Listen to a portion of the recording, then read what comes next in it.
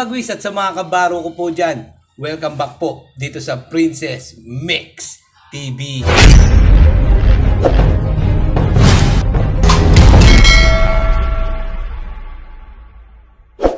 So ngayon mga kabagwis, ito na po ang time para po sa ating pag-join sa vessel. Gagamitin na natin yung PPE na binigay po sa atin ng opisina.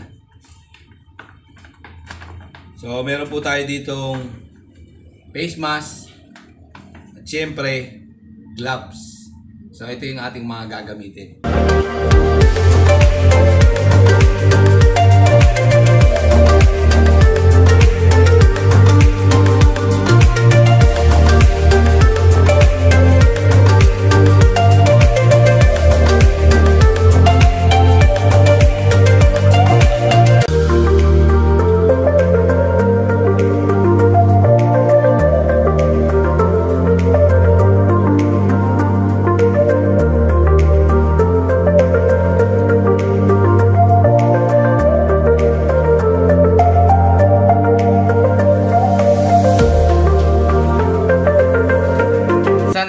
Po ako sa ating paglalakbay dito po sa Buhay Marino. Ngayon, naka-prepare na tayo. Nakasuot na tayo ng PPE, face mask, gloves, at syempre, dapat meron tayong face shield. So, tara!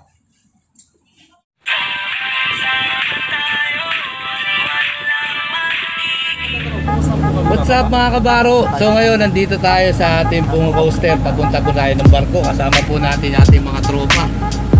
Yan.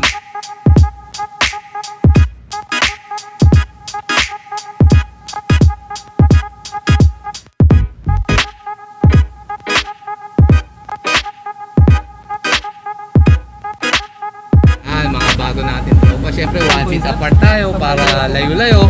Diba? Dahil pandemic nga ngayon. So, shoutout tayo sa maghahatid sa amin. So, paano? Panoorin nyo kung paano kami umakit ng barko.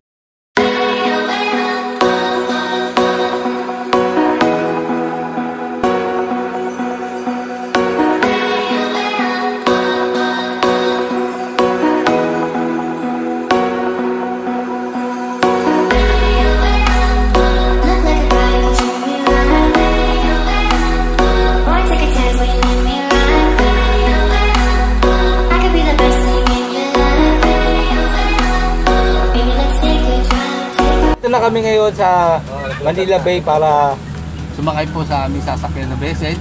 Kaya po yung mga makakasama natin. Yan. At andito si Gundo.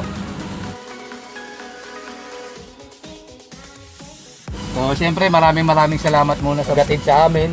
Salamat kay Cadet Mel, kay Cadet JP, saka kay Cadet Kirby. Maraming maraming salamat. So, ngayon, sasakay tayo ng tugboat kasi nga malayo yung anchorage area. So hindi natin alam kung ilang minuto or ilang oras. So tingnan muna natin kung ano mangyayari sa pagsampa. Tara!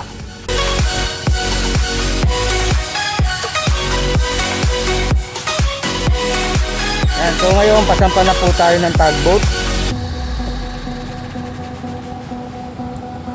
So sasampa muna tayo ng tugboat papunta dun sa barko.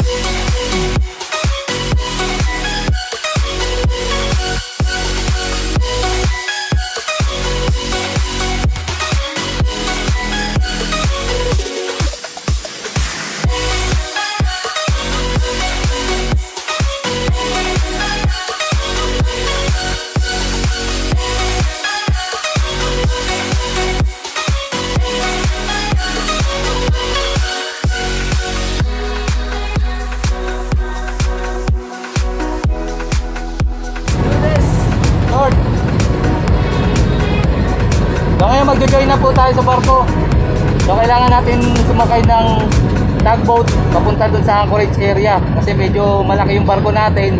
Hindi pwedeng dumikit sa pier kasi sasadsan tayo. So ginagawa Anchorage area, then tugboat tayo papunta doon. So mamaya panoorin nyo kung paano sumampa mga marines. makatutungayan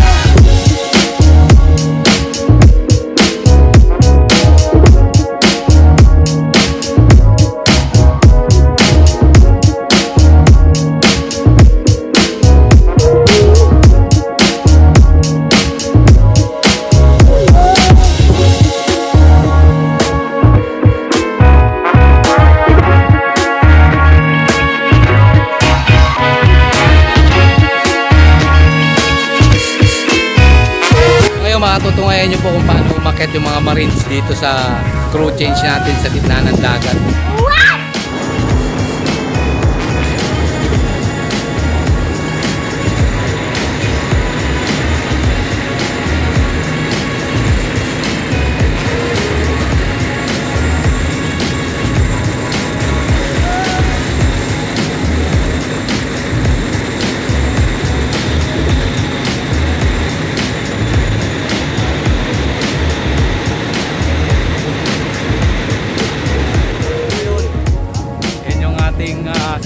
Tugboat.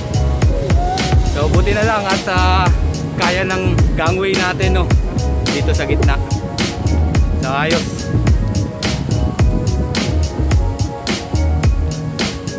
Yan, so ngayon nandito na tayo sa barko. So thank you Lord at nakasampa na po tayo. Paano,